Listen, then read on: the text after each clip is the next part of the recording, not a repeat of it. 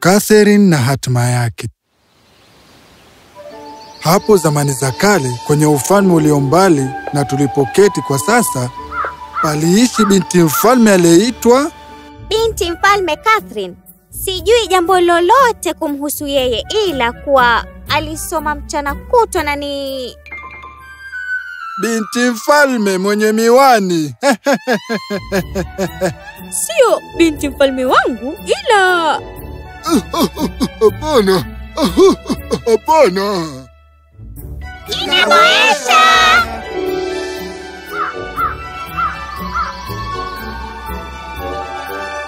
Watu wanadhani kwamba unaboesha. Hilo halinitishi. Sasa ikiwa utaniruhusu, najaribu kuingiza yai hili lililochemshwa ndani ya chupa. Jaribio lingine la kisayansi. Tunahitaji kwenda nje tukapate furaha. Twende tukafurahi, tuonane na watu wapya. Ah! Nimefanikiwa. Je, hata unanisikiliza? Lazima upo na ari sana ya kutaka kujua nilivyofaulu, sio? La, Unaona, mwanzo unaweka karatasi inayochomeka ndani ya chupa. sina haja. Karatasi hiyo inayochomeka itafanya hewa kuondoka ndani ya chupa na shinikizo litaongezeka. Moto unapoishwa na oksijeni, joto hupungua na hewa hupungua mjao, na hivyo kulinyonya yai kupitia mdomo wa chupa. Umemaliza? Kwa hili ndiyo. binti mfalme na mfalme. Baba, baba! Hapana! Mfalme alipoaga, binti mfalme Catherine, mrithi pekee wa kiti cha ufalme, alipaswa kuwa malkia wa Norwa. Ila watu wa ufalme wake hawakuwa na uhakika na hili. Unaona, binti mfalme Catherine hajawahi kujihusisha na masuala ya uongozi, na siku zote amezoea kusoma vitabu. Heko, hatimaye takuwa malikia sasa. Sijui Cactus, sidhani kwamba nipo tayari. Binti mfalme, ufalme wetu umevamiwa. Kuna nini? Waziri, ni nini kinachoendelea? Panto, yule mfalme wa Lola ametuvamia wakati wa maombolezi. Sisi jeshi letu haliwezi kuwakabili. Lazima ukimbilie usalama wako, binti mfalme. Lakini ufalme wetu Tumechelewa, itabidi kujisalimisha. Wewe lazima ukimbie, hata umwacha hai mrithi wa mfalme. lakini Njoo kwetu ukiwa uko tayari. Kwa sasa kimbia!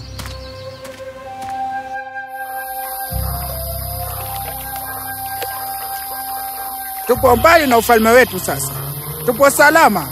Keti hapa, niruhusu nitembee nikague hapa kama tutapata chakula. Cactus alipoondoka, Catherine aliketi kando ya ziwa na akalia kwa uchungu. Ghafla akasikia kitu kilichokuwa kikipita nyuma yake. Catherine. Kuna nini? Huyo ni nani? Mimi ni hatma yako. Nini yangu? Na mbona sikuoni? Umejificha wapi? Wow! Wewe ni nini? Mimi ndiye njia utakayochagua, uamuzi utakaofanya, njia ambazo haukufata. Mimi ni kile unachotengeneza. Mimi ni hatima yako. Hili halifanyiki kwa sasa, haliwezi kuwa ni la kweli. Ninaota, nina ouch! Si, si ndoto. La, Catherine, mimi ni wa kweli kama wewe. Unataka nini? Sio kile ninachotaka, ila kile unachotaka ndicho kina umuhimu. Catherine, je, unanitaka mimi, hatima yako, kwa muda wa sasa ulio na furaha, au siku za usoni zilizojawa na furaha? Hi, hi, hili halina maana yoyote. Wacha tuseme nikitaka kuishi muda wa sasa uliojawa na furaha, lazima niteseke maishani mwangu. La, uwezekano wa mimi kufurahia maisha yangu ni zaidi ya uwezekano wa mimi kuyafurahia. Sasa maana yake tunaishi sasa ili kuboresha siku za usoni. Hivyo ndivyo tulivyoumbwa. Hivyo ah. Hivyo jinsi mtu yeyote aliye na akili timamu angalipokea hili linaloonekana kwa jambo ambalo linaweza kutokea kwenye ndoto, ningevumilia masaibu ya sasa na niwe na mazuri ya kutazamia siku za usoni. Ndiyo. Ah. Um, sijaelewa chochote ulichokisema. Ningechagua siku za usoni zilizo na furaha. Mungu wangu, haya basi, utapokea hilo. Na hilo wimbi hilo lilitokomea na kurejea ziwani, likagonga uso wa maji, kukakaa na utulivu na unyamavu. Ni nini kimetokea? Baada ya kupumzika kando ya bahari usiku huo, Catherine na Cactus wakafunga safari kuelekea ufalme wa Downland. Walipofika kwenye mji mdogo ufalme huo, walikuwa wakipita sokoni.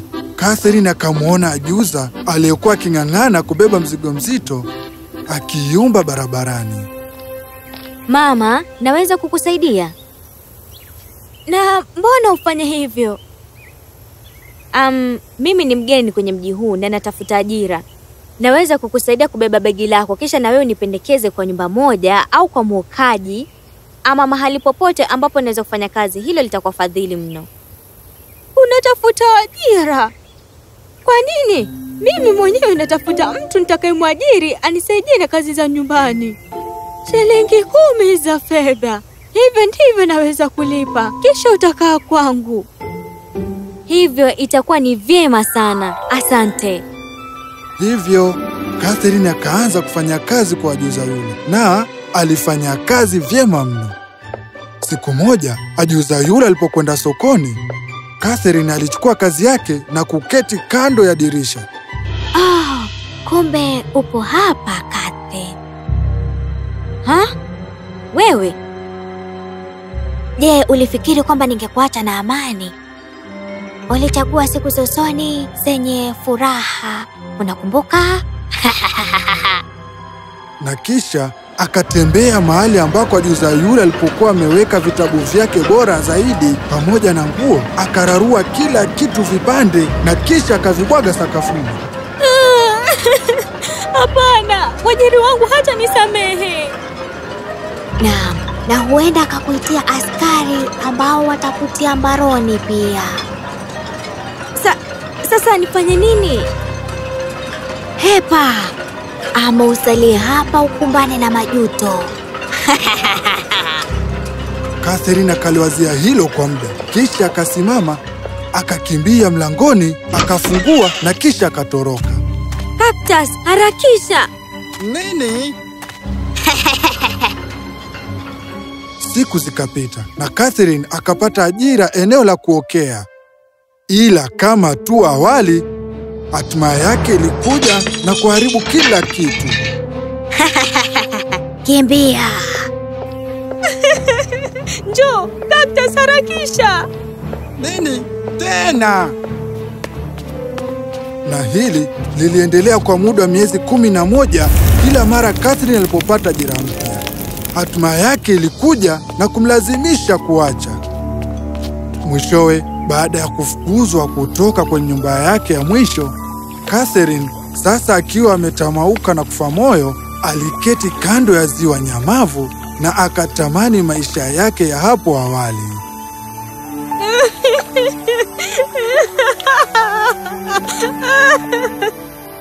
Sijui ni nini hiki ambacho nakitoroka. Catherine namjua ni msoni, anayeboesha na asiye na mwenye mahesabu mengi, ila yeye siyo mtu wa kufa moyo. Ni kweli kabisa Cactus. Sitaketi hapa nilie kuhusu hali yangu ya maisha. Nitajijengea hatima yangu mwenyewe. Hey, um, chochote kile unachomaanisha. Catherine akaenda kwenye mji mkuu wa Downland akiwa na matumaini ya kumpata mfalme na kumwomba msaada.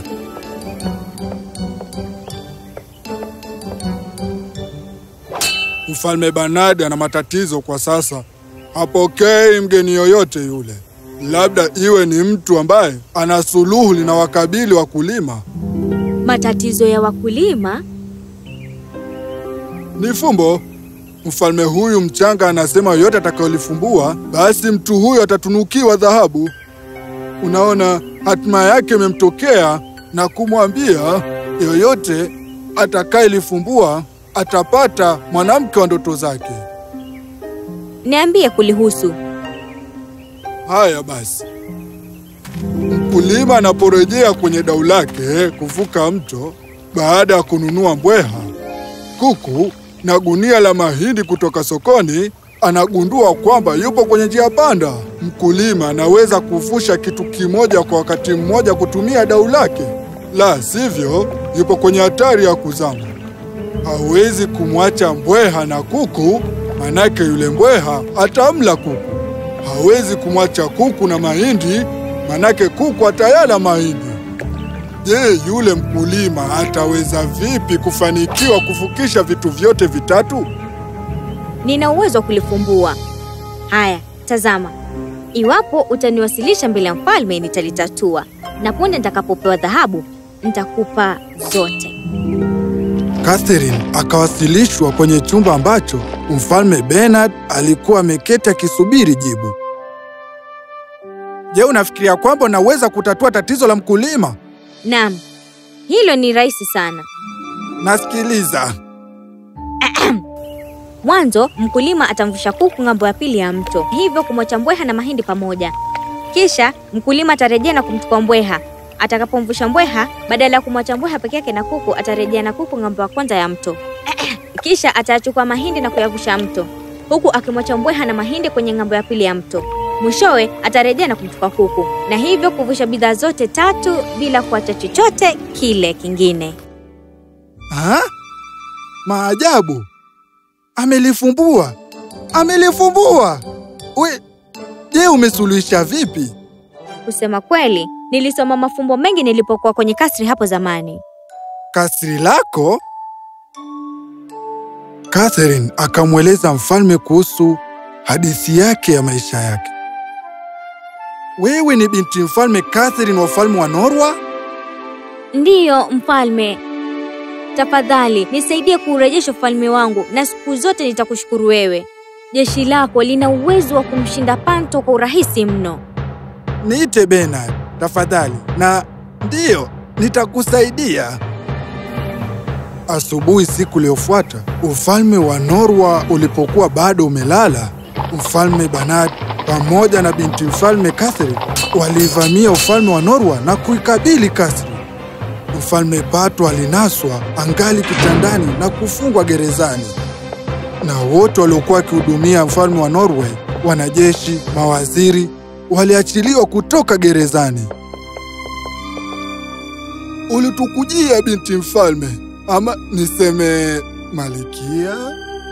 Poleni sana, sikuja hapo awali, nilikuwa nikipigana na hatima yangu.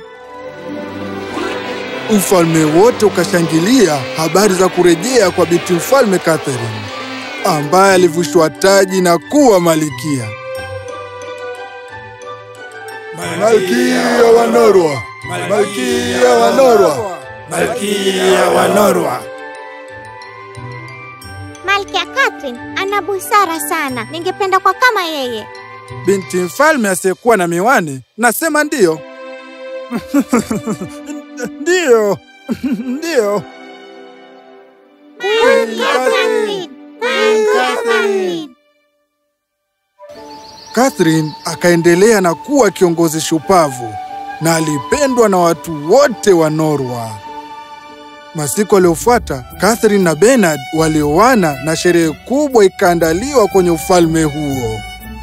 Unapendeza. Jina lako ni nani? Tunaweza ku... Usithubutu. Usithubutu? Hilo ni jina la kushangaza. Je, udhani hivi... Hey, usithubutu. Je, unaenda wapi? na kwa hatma ya Catherine, ndiyo haikuonekana tena. Lazima angechukua uthibiti wake ili kuthibitisha kwamba ni sisi wenyewe tunaoamua hatima yetu.